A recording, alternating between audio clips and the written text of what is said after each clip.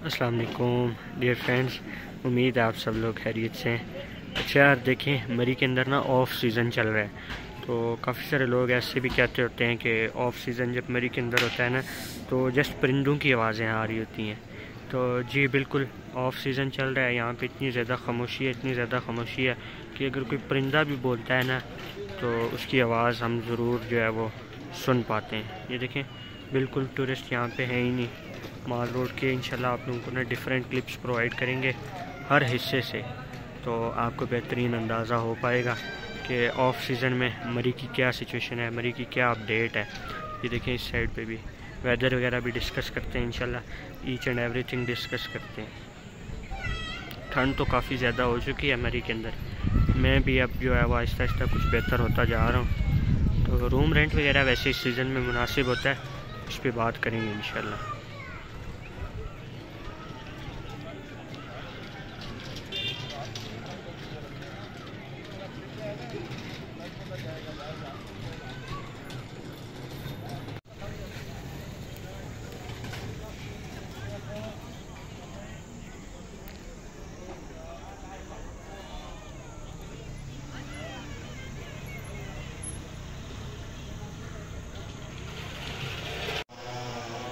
अच्छा dear friends मुझे तो बड़ा अजीब लग रहा है माल रोड को इस तरह, बिल्कुल खाली खाली देख के। ये देखिए, बड़ा अजीब लगता है। लेकिन कुछ जो टूरिस्ट लोग हैं ना, वो इस चीज़ को काफ़ी ज़्यादा पसंद करते हैं। हमारी यूट्यूब फैमिली में से काफ़ी काफ़ी लोग इस चीज़ की गवाही दे रहे हैं कि यार, मरी में यही सीज़न जो है वो सबसे बेहतरीन है। क्योंकि जस्ट खामोशी, ना कोई इतना रश ना कोई धक्के लग रहे होते हैं। और वैसे है टूरिस्ट के लिए ये बेहतरीन चीज़ है कि टूरिस्ट जो हैं वो हर चीज़ को हर जगह को अच्छे से जो है वो एक्सप्लोर और इन्जॉय कर सकते हैं। वैसे अगर बात करें रश क्राउड वाली सीज़न वैसे अगर रश क्राउड वाली सीज़न की बात करें ना तो ये सामने जो बेंचेस भी आपको देखने को मिलने वाले हैं ना बैठने के लिए इन पे भी बैठने के लिए जगह नहीं मिलती। लेकिन आजकल इस सीज़न में देखें कितना पुरसकून माहौल है। वैसे हमें तो ऐसा माहौल अच्छा नहीं लगता खामोशी वीरानगी वगैरह लेकिन आप लोगों को ज़रूर अच्छा लगता होगा। ये देखें अगर वैसे हम जो है वो पीक सीज़न में यहाँ से गुजर रहे होते ना तो यहाँ पे कुछ देर बैठने का जी चाहता तो यहाँ पे जगह नहीं देखने को मिलने वाली थी, बिल्कुल भी। लेकिन अभी खाली पड़े हैं ये बेंचेस वगैरह। आगे स्नोफॉल वाला सीज़न भी आ रहा है, उसमें भी काफ़ी ज़्यादा रश होती है। ये देखें कितनी खूबसूरत ग्रीनरी है यहाँ पे। ये देखें।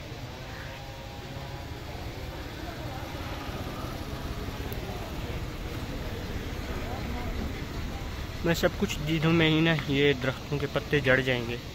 सीज़न आ गया, इनके भी जड़ने का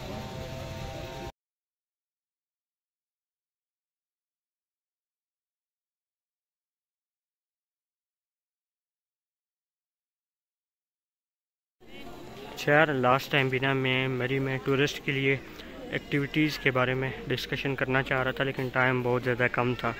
तो देखें, यहाँ पे मरी सिटी में अगर माल रोड पे बंदा पहुँच जाता है ना तो यहाँ पे सबसे जो है वो ज़बरदस्त चीज़ ये है, सबसे पहली चीज़ ये है कि एक सिटी है।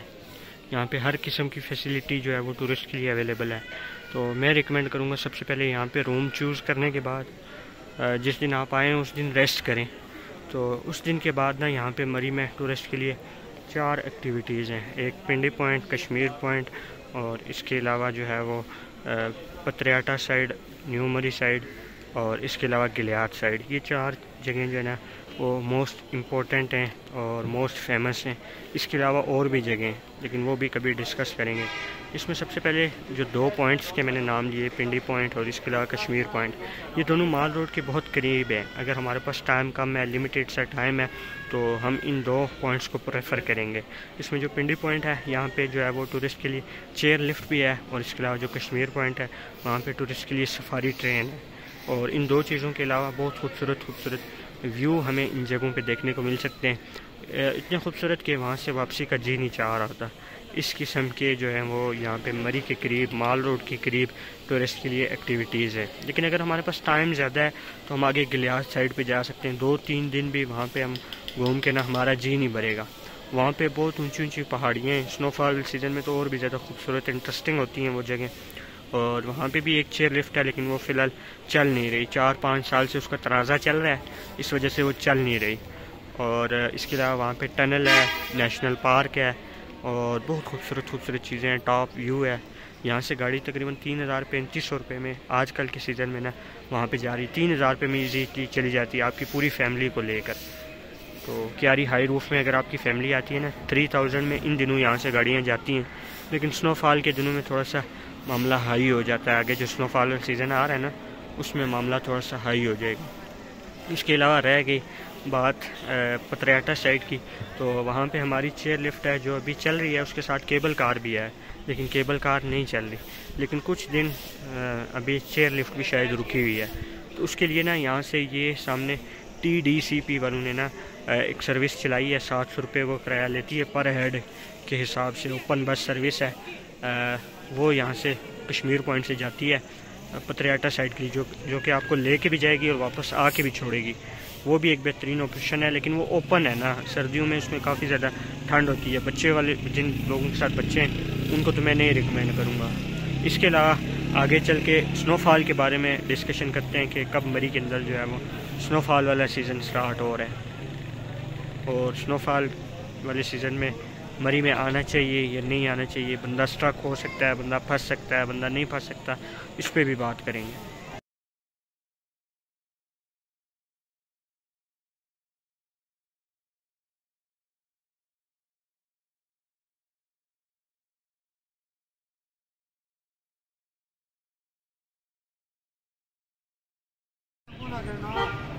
जी डियर फ्रेंड्स वैसे स्नोफॉल का सीज़न तो अभी काफ़ी ज़्यादा लेट है, लेकिन हम ना अब रोज़ाना की बेस पे इस पर होमवर्क करेंगे ताकि बहुत सारे लोगों का जो डर है, मरी आने के लिए ना, वो जो है वो ख़त्म हो सके।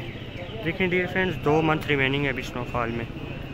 और काफ़ी सारे लोग इस चीज़ से डरते हैं कि स्नोफॉल सीज़न में ना हम फंस जाएँगे स्ट्रक हो जाएँगे। 2021 में भी ऐसे बहुत सारे वाक़ात देखने को मिले, जिसमें बहुत सारे टूरिस्ट जो हैं वो अपनी गाड़ियों में स्ट्रक हो के रह गए थे।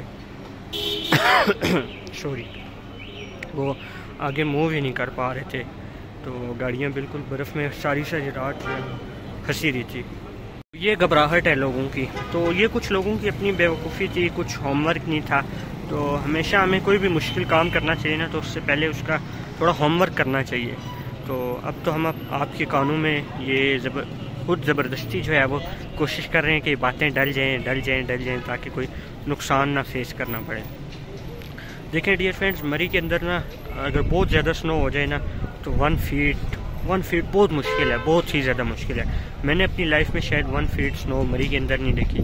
लेकिन पहले कहा जाता है कि इतनी ज़्यादा स्नो होती थी इतनी ज़्यादा स्नो होती थी कि तीन मंथ पहले ही ना लोग अपना राशन घर में इकट्ठा कर लेते थे। और काम काज ना तीन महीने पहले ही छोड़ देते थे। लेकिन ये बहुत पुरानी बातें हैं। ये नाइन्टीज़ की, एटी की, सेवेंटीज़ की बातें। हैं लेकिन अब जो है वो स्नोफॉल काफ़ी ज़्यादा कम हो गई है। जैसे जैसे इन्वायरमेंट ख़राब होता जा रहा है, ऐसे ऐसे स्नो भी मरी के अंदर ना कम होती जा रही है। तो इस बात से ये भी पता चला कि हमें अपना इन्वायरमेंट भी बेहतर रखना चाहिए, साफ़ सफ़ाई, साफ़ साफ़ सुथरा इन्वायरमेंट रखना चाहिए, ताकि हमारी जो नेचुरल चीज़ें हैं वो हमसे ना छीनी जाएँ। तो देखें, अगर आप एक एक फीट भी स्नो हो जाती है ना तो फिर भी जो है वो रास्ते बंद होंगे। लेकिन मरी में इतनी होती ही नहीं है। अगर मरी में रास्ते बंद होते हैं ना तो सेवन किलोमीटर की रेंज के अंदर ही स्नो होती है। इससे ज़्यादा मरी के अंदर स्नो नहीं होती। तो सेवन किलोमीटर की रेंज तो बंदा पैदल भी क्रॉस कर सकता है। सो मरी में अगर आप आते हैं, बहुत ज़्यादा भी स्नो हो जाती है तो सात किलोमीटर आप पैदल भी चल सकते हैं। सात किलोमीटर भी नहीं तीन चार किलोमीटर की रेंज के अंदर ही होती है, लेकिन अगर वन फीट हो जाए तो फिर उसका असर जो है वो सात किलोमीटर तक जाता है। सात किलोमीटर का रास्ता जो है ना ये आप पैदल भी क्रॉस कर सकते हो, पैदल भी भाग सकते हो। तो इसलिए मैं आपको रिकमेंड करूँगा कि मरी आएँ, कोई मसला नहीं है, लेकिन आगे गिलियात साइड पे अगर जाते हैं तो वहाँ पे 25-30 किलोमीटर है। वहाँ पे अगर थोड़ी सी भी स्नो हो जाती है तो गाड़ियाँ नहीं चल सकती, गाड़ियाँ स्ट्रक हो जाती हैं, गाड़ियाँ फंस जाती हैं। तो आगे अगर लाइव स्नो हो रही है तो गिलियात साइड पे ना जाए, मरी से। घूम फिर के वापस चले जाएँ इंजॉय करके चले जाएँ, इंशाल्लाह कोई मसला, कोई टेंशन कोई परेशानी नहीं फेस करने को मिलेगी। तो उम्मीद है ये इन्फॉर्मेटिव एपिसोड आप लोगों को पसंद आई होगी और कमेंट सेक्शन में आप अपने ओपिनियंस का भी इजहार मस्त करेंगे। Thank you